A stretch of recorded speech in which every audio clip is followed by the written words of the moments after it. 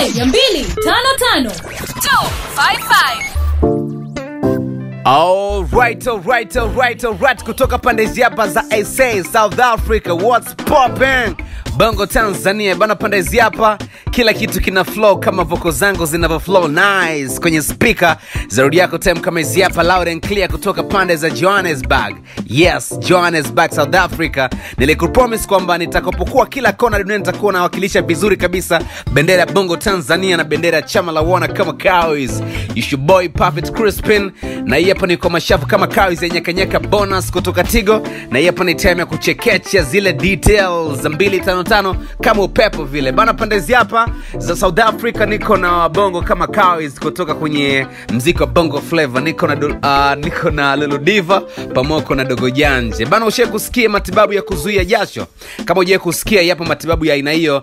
Mtoka um, jasho mengi sana anapigwa sindano inayohusika ambalo hataki litirike majasho mengi na vitu kama hivyo. Gharama zake za sindano moja ni kama dola mia tatu hivi. Kibongobongo ni zaidi kama ya laki sita hivi za kitanzania. Hapo bado hajasafiri kuifuata hiyo sindano au kuifuata hiyo tiba. Fia kumwona daktari hapo bado na vitu kama hivyo. Hasa dada yetu lulu diva iko kipande cha south africa. Safari yake kutoka tanzania ni maalum uh, kwa ajili ya vitu viwili. Kushut video zake uh, pamoja na kutibiwa matatizo ya kuvuja jasho kwa wingi usoni. Nikaona isiwe kiasi hii lulu diva kama kawis aimalize kupitia mbili tano tano. Nimekuja kufanya video mbili tatu kwa ajili ya kuziweka. Sometimes safari za huku sio kila mara. Kwa hiyo wene ukipata time ya kuja huku inabidi umalize kazi zako zote ili usiwe na zile kupanda ndege kurudi. Kupanda hivyo inakuwa pia unaepusha gharama. Uh, maswala ya urembo niliokuja kuyafanya ni kutokana kwamba na treatment yangu ambayo niliweza kuifanya ilikuwa ni mwaka jana. Nadhani kwa mwaka jana ya mwaka jana mwanzoni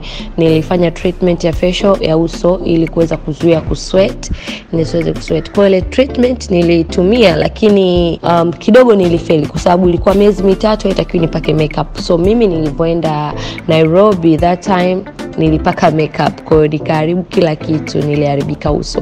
Kwa sababu ile ilikuwa inatakiwa usitumie makeup na ukipaka makeup sura yako ina, inapata infection. Kwahiyo nilipata infections vitu kama hivyo. Kwa haikufanya kazi. Kwao nimerudi tena kwa ajili ya kuweza kuifanya ile treatment uh, kwa ajili ya kutoa jasho ili nikiwa nafanya labda performance nikiwa katika harakati zangu nisitoke jasho na pia pimples vitu kama hivyo. Mi ni msichana mzuri msichana mrembo sipendi kuharibika uso wangu. Kwao nikaona kwa nini ni, nisifanye hivyo yeah, vitu kama hivyo mbili tano tano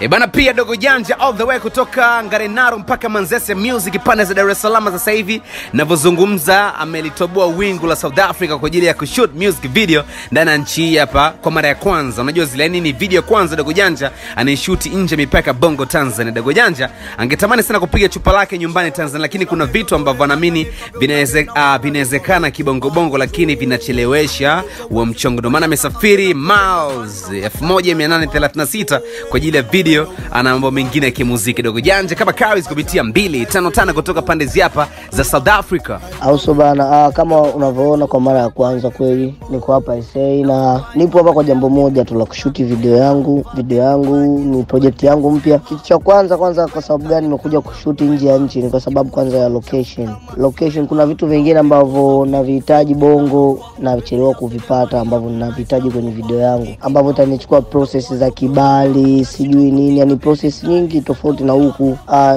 sehemu tu nikiapply niki, niki, apply mara moja chap napata na shuti so ni kutokana na mahitaji ya vitu ambavyo navihitaji katika video yangu na ndo maana niko hapa. Kama unavyoona pia changamoto hali ya hewa kidogo sometimes kijua lazama la nini kwao unakuwa changamoto ya kushuti lakini uh, mambo si haba tuko tunapiga kichupa auso bana eh. na pia uh, kuna connection mbili tatu ambazo na link na wasanii wa hapa sa wa hapa sa so endapo ikiwa, ikiwa poa nitaweza kuizungumzia zaidi lakini pia nafikiri sitarudi hivi hivi nitarudi pia na kolabo kolabo kubwa tu ambayo nitarudi nayo uh, kitu kingine tuendelee kuombeana dua uso bana eh. uh, na pia kitu kikubwa ambacho kinaniuma natamani tuwe tunapata vibali haraka vya kushutia kuna location ambazo zinahitajika zinakuwa zinatupa ugumu. Endapo tutakuwa tunapata vitu kama hivyo basi tutakuwa tunashuti hapo hapo nyumbani tu.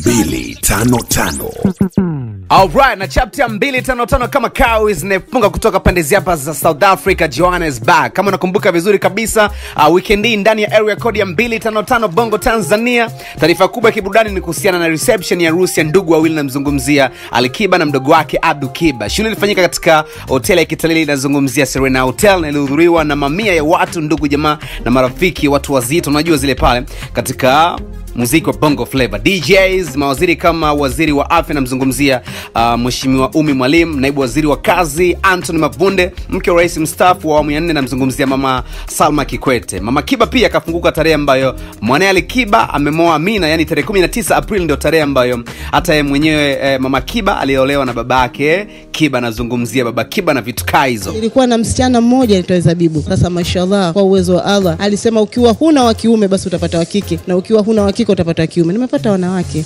Sasa hivi na watoto watatu wa kike. Mimi kwanza tarehe alitaja tarehe kumi na nane baadaye akakaa akasema ah, mama tufanye tarehe kumi na tisa mi nikavuta cheti changu cha ndoa kikanionyesha tarehe kumi na tisa mwezi wa nne. Nikanyamaza kimya sikumwambia.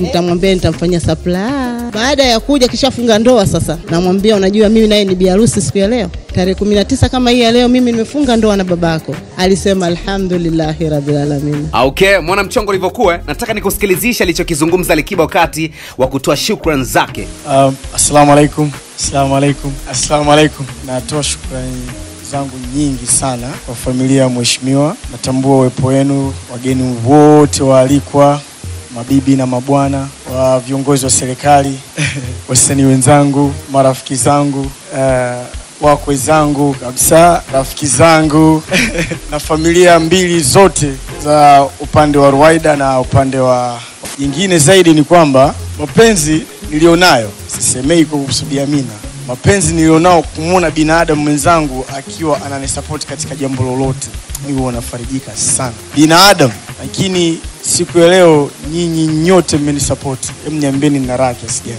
Na namshukuru mwenyezi mungu wazazi wangu wote wawili leo nimeweza wameweza kuwepo katika siku yangu hii. Alhamdulillah mzee salehe mama wangu yule pale mama kiba mama k bibi yangu mke wangu mwingine yule pale. Nakutaarifu kabisa. Yule anacheka sana yule. leo nimefurahi sana uwepo wako bibi. Na mwalimu wangu wa madrasa Sheikh Abbas nashukuru sana. 255